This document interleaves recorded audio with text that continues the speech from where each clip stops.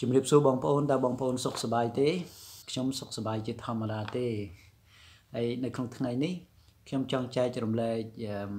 សំណួរមួយទៀតទៅបងប្អូន ដែលគ្រីស្ទបរិស័ទយើងបានដាក់សំណួរសួរខ្ញុំថាលោកកំពុងអភិបុជាមានសារៈសំខាន់បែបណាសម្រាប់គ្រីស្ទបរិស័ទបងប្អូនបងប្អូន ត្រូវចាំថាពេលណាបងប្អូនចូលរួមថ្វាយអភិបុជា នៅពេលនោះគឺបងប្អូនចូលរួមជាមួយនឹងគម្រោងការដ៏អស្ចារ្យរបស់ព្រះយេស៊ូវដែលព្រះអង្គជប់លៀងជាមួយនឹងក្រុមសាវកនៅថ្ងៃចុងក្រោយនៅក្នុងពាក្យនេះបងប្អូនលើពាក្យមួយដ៏សំខាន់គឺជាពាក្យបច្ចេកទេសដែលយើងហៅថាអភិបូជាខ្ញុំចង់ចែកពាក្យនេះជាពីរអភិនិងបូជាអភិតាមសម្ដេចសង្ឃជូណាតគាត់ អឺបកប្រែថាក្រៃក្រៃលែងក្រៃពេកណាស់លើសលែងឆ្ពោះឬចំពោះមានន័យថាជាអភិអភិរីឯបូជាសម្ដេចសង្ឃជួនណាតគាត់បានបកប្រាបកស្រាយថាការថ្វាយឬជូនវត្ថុអ្វីមួយ ហើយនេះយើងឃើញថានៅក្នុងព្រះសកុំកាតូលិកយើងយើងប្រើពាក្យអភិបូជានេះគឺមានអត្ថន័យជ្រៅមានន័យថាព្រះយេស៊ូវព្រះអង្គថ្វាយជីវិតរបស់ព្រះអង្គតែម្ដងតើព្រះអង្គថ្វាយជីវិតរបស់ព្រះអង្គសម្រាប់អ្នកណាគឺព្រះអង្គថ្វាយជីវិតរបស់ព្រះអង្គគឺទៅដល់បងប្អូនដែលព្រះអង្គស្រឡាញ់គឺគ្រីស្ទបរិស័ទ តែម្ដងគ្រីស្ទបរិស័ទឬអស់អ្នកជឿផ្សេងផ្សេងឬព្រះអង្គថ្វាយជីវិតរបស់ព្រះអង្គសម្រាប់មនុស្សលោកទាំងអស់តែយើងដែលធ្លាប់ឃើញម្នាក់ដែលស្រឡាញ់ហើយគេសុខចិត្តថ្វាយខ្លួនរបស់គេឬយើងឃើញឪពុកម្ដាយដែលស្រឡាញ់កូនខ្លាំងណាស់គេថ្វាយខ្លួនចំពោះកូនកូនរបស់គេឬយើងមានអ្នកដែលយើងជាមិត្តភ័ក្តិរបស់យើងដែលស្រឡាញ់គ្នាទៅវិញទៅមកគេសុខចិត្ត ថ្វាយជីវិតរបស់គេទាំងស្រុងដោយសារតែសេចក្តីស្រឡាញ់នេះព្រះយេស៊ូវជាមិត្តសម្លាញ់ដែលព្រះអង្គសុខចិត្តថ្វាយខ្លួនហើយនេះតាមរយៈព្រះសហគមន៍កាតូលិកយើងចាប់អារម្មណ៍អំពីការបញ្ជូនបន្តរបស់ព្រះសហគមន៍ដែលជាសកម្មភាពផ្ទាល់របស់ព្រះសហគមន៍តែម្ដងហើយនៅក្នុងព្រះសហគមន៍កាតូលិកបានចាប់អារម្មណ៍អំពីអក្សសញ្ញាជាពិសេសអក្សសញ្ញាព្រះកាយនិងព្រះលិខិតរបស់ព្រះគ្រីស្ទអក្សសញ្ញាព្រះកាយនិងព្រះលិខិតរបស់ព្រះគ្រីស្ទ ដែលយើងហៅថាអភិបូជាអភិបូជាអក្សសញ្ញាព្រះកាយនិងព្រះលិខិតរបស់ព្រះគ្រីស្ទមិនគ្រាន់តែជាការនឹករលឹកដែលព្រះយេស៊ូវសោយទីវង្គតមានព្រះជន្មរស់ឡើងប៉ុណ្ណោះទេ គឺជាការបង្ហាញអំពីសេចក្តីស្រឡាញ់ដ៏លើសលប់របស់ព្រះអង្គចំពោះមនុស្សលោកហើយនេះព្រះយេស៊ូវសុខចិត្តបូជាជីវិតសុខចិត្តយកសាច់ស្រស់របស់ព្រះអង្គយកឈាមស្រស់របស់ព្រះអង្គ ដូរនឹងសេចក្តីស្រឡាញ់ដែលដែលព្រះអង្គស្រឡាញ់មនុស្សលោកយ៉ាងខ្លាំងរហូតដល់បូជាជីវិតសម្រាប់មនុស្សលោក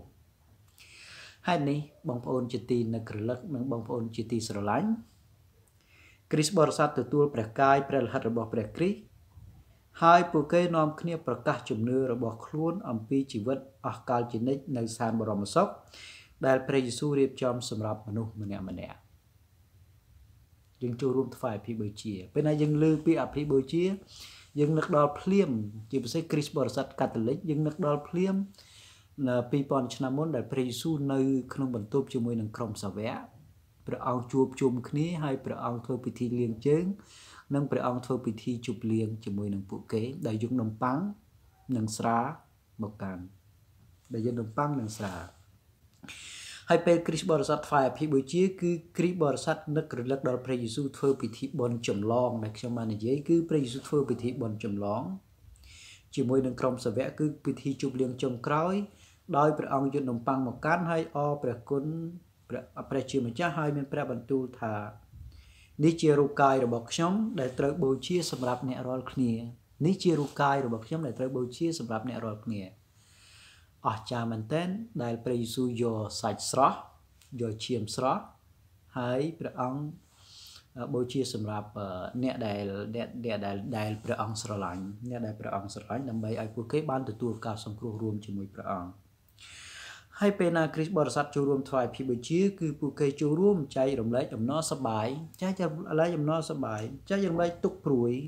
និងពួកគេនាំគ្នាថ្វាយដង្វាយទៅព្រះជាម្ចាស់ តាមលក្ខណៈសកម្មភាពប្រចាំថ្ងៃរបស់គេ គឺមានមានធូបមានទៀនមានផ្កា មានផ្លែឈើមានថវិកានិងគេថ្វាយអ្វីអ្វីដែលមកពីកម្លាំងញើសឈាមប្រចាំថ្ងៃរបស់គេផងដែរហើយនេះអឺនេះជាសកម្មភាពដែលអឺគ្រីស្ទបរិស័ទធ្វើ គេត្រូវចូលរួមថ្វាយភិបូជាហើយយើងសប្បាយ នៅពេលណាដែលយើងជួបជុំគ្នា នៅពេលណាដែលយើងសហការជាមួយគ្នា នៅពេលណាដែលយើងកសាងសន្តិភាពជាមួយគ្នា ជាពិសេសគឺនៅពេលណាដែលយើងចូលរួម ធ្វើពិធីអព្រះគុណនៅក្នុងព្រះវិហារនៅក្នុងព្រះវិហារដែលយើងថាពិធីថ្វាយអភិបូជាឬអគ្គសញ្ញាអព្រះគុណភាសាបារាំងគេប្រើពាក្យមួយពីរោះមែនតែនគឺពាក្យ Sacrement de l'amour Sacrement de l'amour ហើយនេះពេលណាគ្រីស្ទបរិស័ទចូលរួមថ្វាយភិបូជាគឺគ្រីស្ទបរិស័ទចូលរួមថ្វាយសក្ការៈថ្វាយអំណរសប្បាយថ្វាយអ្វីអ្វីដែលគេមានទៅព្រះជាម្ចាស់ដោយរួមជាមួយព្រះយេស៊ូវតែម្ដងហើយនេះសរុបសេចក្តីទៅអភិបូជាពិតជាមានសារៈសំខាន់ណាស់សម្រាប់គ្រីស្ទបរិស័ទកាតូលិកហើយគ្រីស្ទបរិស័ទកាតូលិកយល់ភ្លាមនៅពេលណាដែលគេថាអូខ្ញុំទៅព្រះវិហារថ្វាយអភិបូជាគឺ គឺគេទៅធ្វើតាមរបៀបនេះគេទៅជួបព្រះយេស៊ូវនិងគេទទួលព្រះកាយនិងព្រះលិខិតរបស់ព្រះអង្គទុកជាការថ្វាយខ្លួនរបស់ព្រះយេស៊ូវដល់ពួកគេនិងជាជីវិតប្រចាំថ្ងៃរបស់ពួកគេដែរហើយនេះខ្ញុំសូមអធិដ្ឋានសម្រាប់បងប្អូនគ្រីបរិស័ទយើងដែលចូលរួមយ៉ាងសកម្មនៅក្នុងព្រះសហគមន៍និងមានជំនឿមកមួនទៅលើព្រះជាម្ចាស់និងបន្តជំនឿរបស់បងប្អូនដល់បងប្អូនទៅទៀតទៅទៀតផងដែរ ហើយនេះសូមឲ្យសក្ការៈបូជាសូមឲ្យអភិបូជាដែលបងប្អូនទទួលមិនជាពិសេសនៅពេលណាដែលបងប្អូនចេញពីព្រះវិហារបងប្អូនមានទួនាទីមួយគឺប្រកាសដំណឹងល្អអំពីសេចក្តីស្រឡាញ់ប្រកាសដំណឹងល្អអំពីជីវិតរបស់មនុស្សម្នាក់ម្នាក់មានតម្លៃស្មើស្មើគ្នាផងដែរសូមឲ្យអឺព្រះអំណោយទានរបស់ព្រះជាម្ចាស់តាមរយៈអក្សសញ្ញាអព្រះគុណឬតាមរយៈអក្សសញ្ញាព្រះកាយនិងព្រះលិខិតរបស់ព្រះគ្រីស្ទ សូមឲ្យបងប្អូនបានទទួលសេចក្តីសុខសាន្តនិងសេចក្តីស្រឡាញ់ពីព្រះគ្រីស្ទផងដែរអាមែន